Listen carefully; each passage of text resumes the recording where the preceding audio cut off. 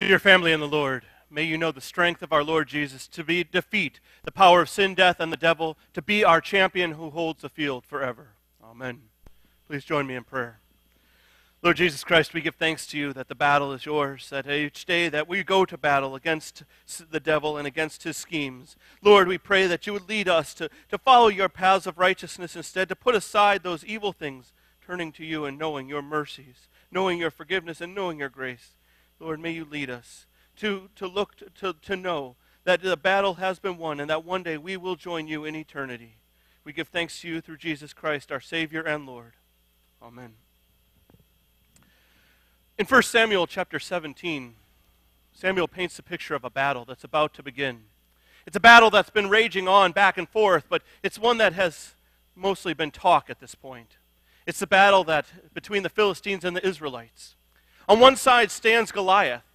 And just in case you forgot the sheer size of Goliath, let me remind you. Scripture says that he was six cubits and a span tall. Now, that might not mean much unless you hear the fact that that's just shy of 10 feet. So he was about 10 foot tall. He carried a shield that weighed 5,000 shekels of bronze. That meant his shield weighed about 125 pounds. He carried a spear that the very end of it, just the end of it, weighed 600 shekels of iron, or about 16 pounds. Goliath was an immense champion. He was the Philistines' champion. He looked at this scrawny guy by the name of David across the way from him. Scripture says that he didn't even carry Saul's armor because of the weight, because of the size of it. He came at Goliath, this young man, although the Bible does say handsome and ruddy, he came at him with in one hand a staff, in the other hand a sling and five stones. Now, if you were to look at this battle from the outside, if you were to go back and look at this battle without the knowledge you have today, who would you say was going to win that battle? It'd be pretty clear, wouldn't it? We'd think it was Goliath. We'd look at Goliath and we'd say he could pick him up in one hand and shake him to death if he wanted to.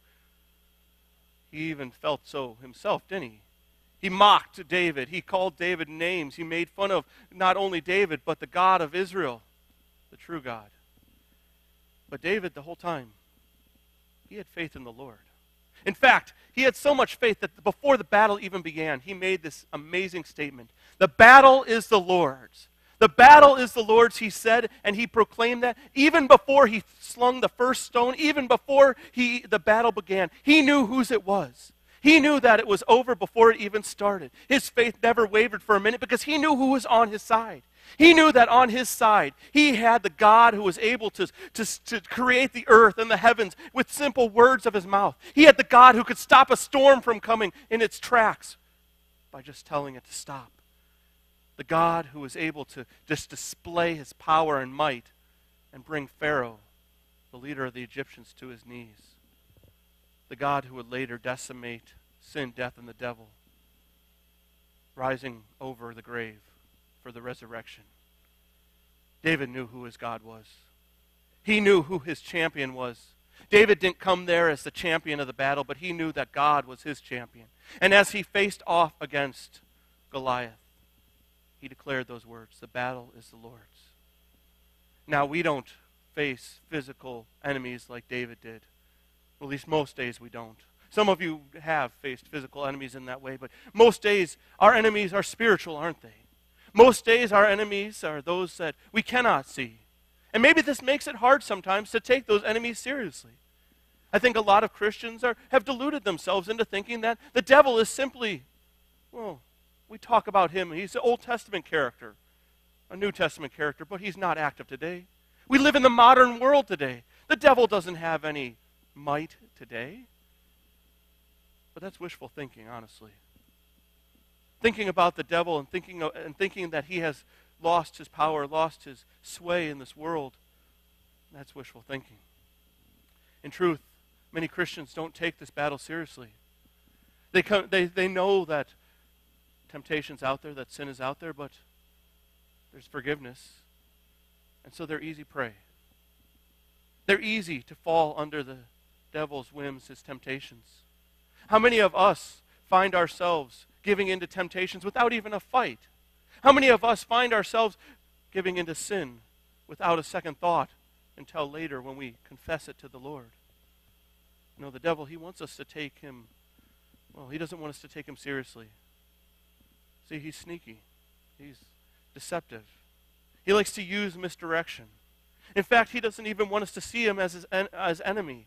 Instead, to see him as someone who's just another being out there who will sometimes help you out if you listen to him.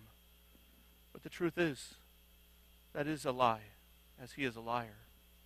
In fact, listen to the words that Paul used from our epistle this morning. Ephesians 6, Paul wrote, For we do not wrestle against flesh and blood but against the rulers, against the authorities, against the cosmic powers over this present darkness, against the spiritual forces of evil in the heavenly places. The, our, our enemy is the devil. Now, sometimes he'll use that misdirection. He'll use that lies that we might think that those on earth are our enemies, that those who don't share the same Lutheran or, or Christian are our enemies. But the truth is, the devil is using them. He is our only true enemy, but he'll use misdirection because so often he knows we'll underestimate him. So often we'll just assume that he's working out there, but maybe not bothering us. But he is. He is constantly working against Christians, constantly working against the people of God to destroy our faith, to hurt our belief put fear into us. And not the kind of fear we need fear of the Lord, a fear of Him. He uses this misdirection and confusion, much like well, soldiers use this misdirection. You know, probably I don't know how many of you studied the Revolutionary War, and I can't say that I'm a huge history buff, but I know there Chris uh, certainly is. But you know, there was a battle that was a battle that changed the direction, or was one of the battles that changed the direction it was called, now called the Battle of Princeton. It happened uh, January 2nd and January 3rd of 1777. And the, this battle, General Washington led the Continental Army against the British troops, and, and he surprised them. See, just a, less than a week earlier, January or December 25th, 1776, and December 26, 1776, uh, General Washington had led these the troops against Trenton, and it, he defeated Hessian soldiers in Trenton. That was a big surprise there. But the biggest surprise was yet to come because when he led those uh, continental soldiers hungry and tired and uh, cold against the, folks in Princeton, the, the British soldiers, they weren't expecting it. It's interesting because Washington rode out and he was just 30 yards from the enemy when he finally declared that they should march.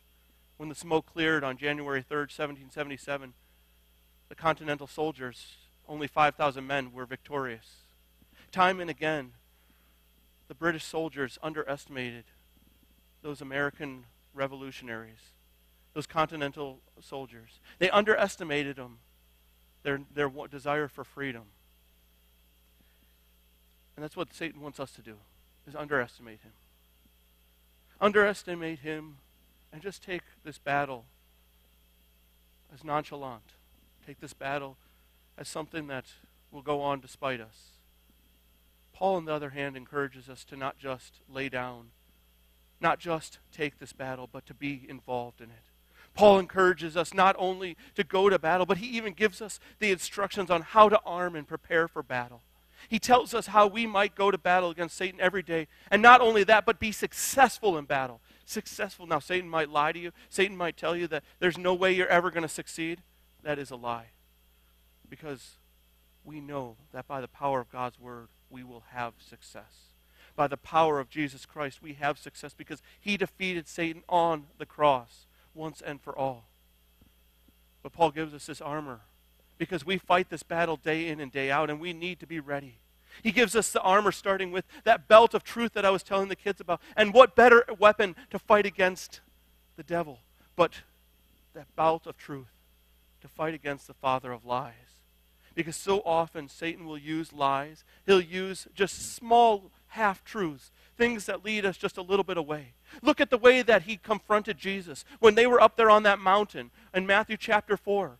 He thought that he was going to have Jesus. He kept using Scripture and twisting Scripture here and there. And Jesus called him out because he knew the truth. Satan will lie. But when we have the truth, we can confront those lies. And do you know what happens when you confront lies? When you call out lies in the light, it silences the liar, it shuts him up. And that's what we, when we bring the truth of God's word against Satan's lies, he can say nothing. He is speechless. Jesus warns us, though, he is the father of lies. He is deceptive. Listen to how Jesus refers to him in John 8. And he's referring to the Pharisees. You are of your father, the devil, and your will is to do your father's desires. He was a murderer from the beginning and does not stand in the truth because there is no truth within him. When he lies, he speaks out of his own character, for he is a liar and the father of all lies. He is a liar. There is no truth within him, and, and so the truth shows his lies for what they are. His lies that we are weak, his lies that we will fail and there's no chance, his lies that we must give into temptation. The truth of God's word says otherwise. The truth of God's word tells us no. By the power of Christ, we can prevail. But not only do we need that belt of truth, but for that armor, we need to also put on the breastplate of righteousness. Now, we look at God's law, and we've talked about God's law here before, and it's not a bad thing. But sometimes in our sinful nature, we look at it that way, don't we? John says, though, just warns us in 1 John whoever makes a practice of sinning is of the devil. For the devil has been sinning from the very beginning. The reason the Son of God appeared was to destroy the works of the devil. We must put on that breastplate of righteousness because we are going to daily face the attacks of devil, the attacks of the devil to go to fall into sin.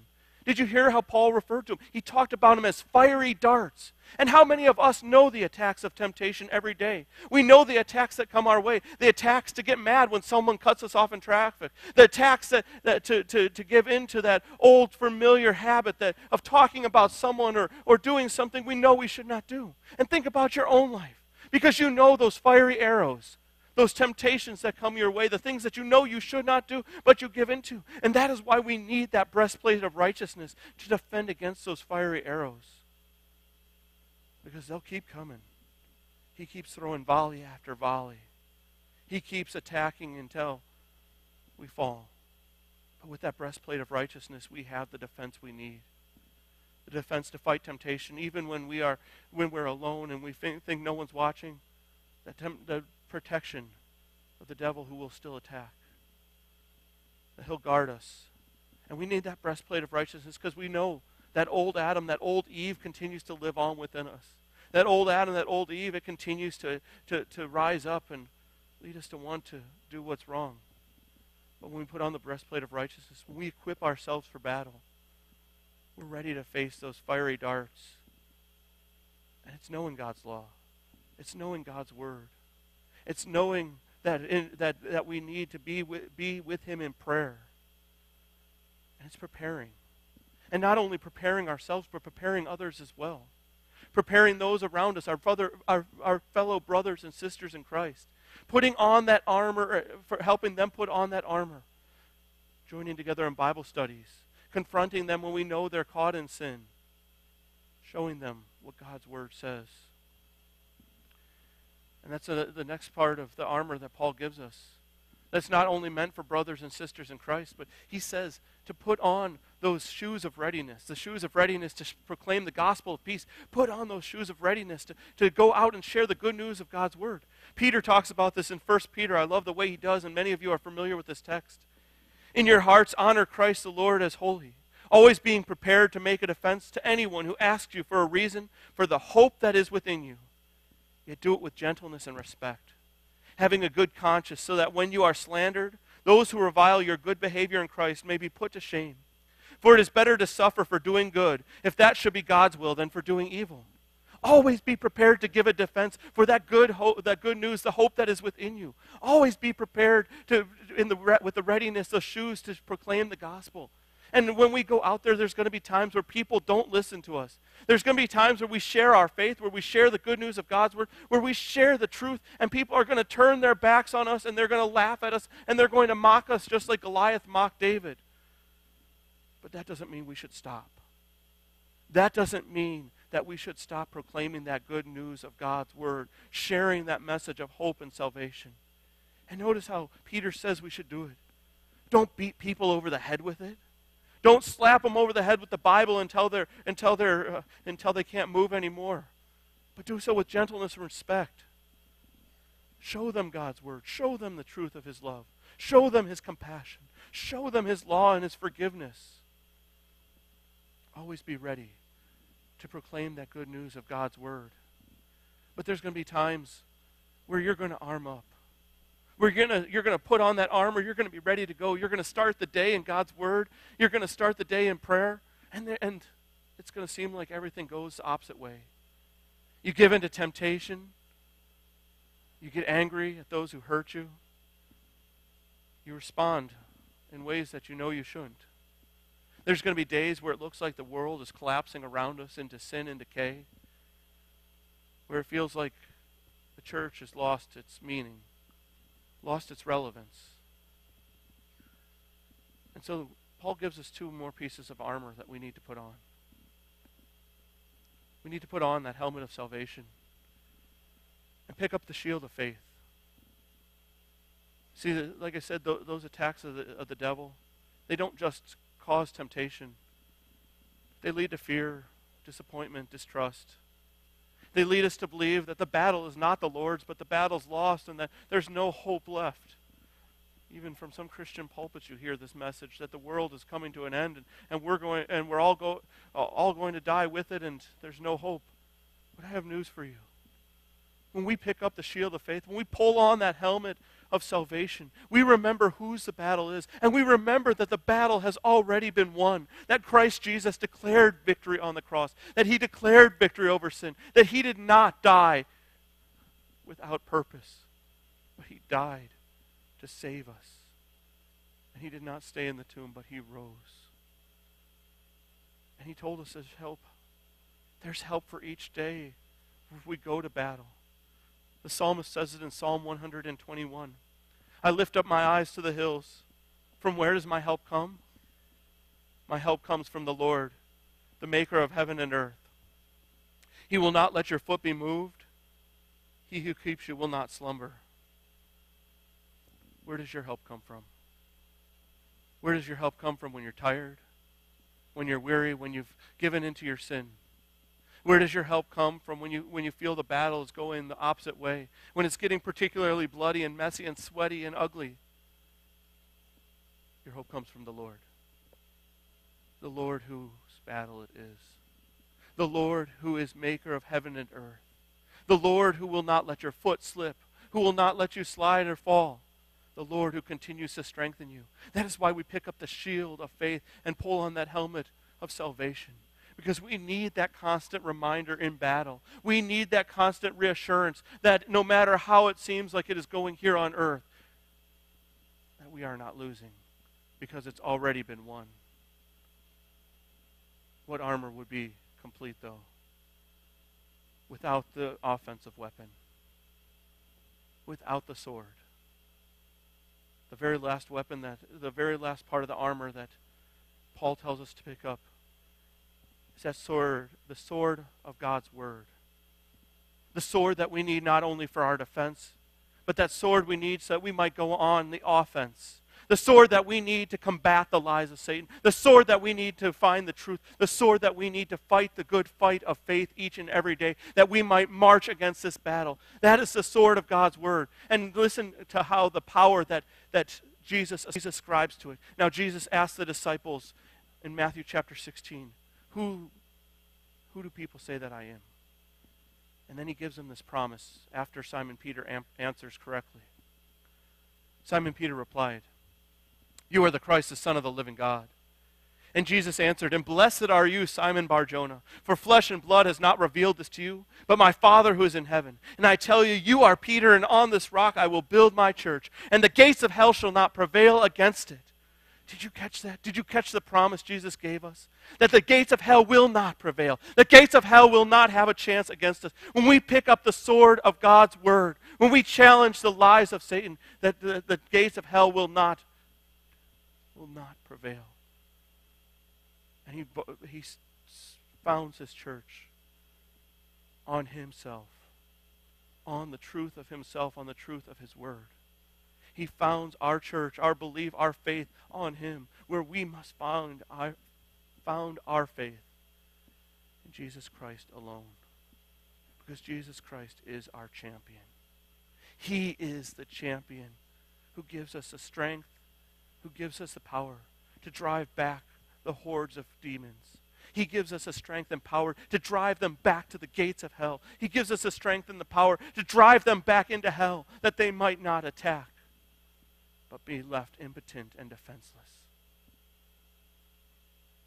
And the battle is the Lord's. He has declared victory. He went down to hell, and he declared victory once and for all. He went down to hell, and he said, No, no further will you go. But these, they are mine. So as you prepare for battle, not just during this Lenten season, but as you prepare for battle every day, I encourage you to take our enemy seriously.